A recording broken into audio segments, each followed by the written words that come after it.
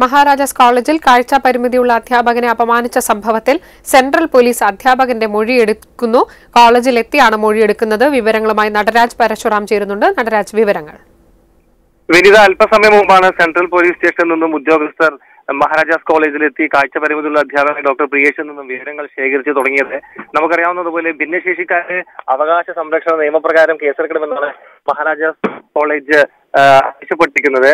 ഇത്തരത്തിൽ കേസെടുക്കാൻ കഴിയുമോ എന്ന് വ്യക്തമാകണമെങ്കിൽ അധ്യാപകന്റെ മൊഴി നിർണായകമാണ്. അദ്ദേഹത്തിന്റെ മൊഴി അടിസ്ഥാനമാക്കിയായിരിക്കും ഇക്കാര്യത്തിൽ പോലീസ് ഒരു തീരുമാനത്തിലെത്തുക.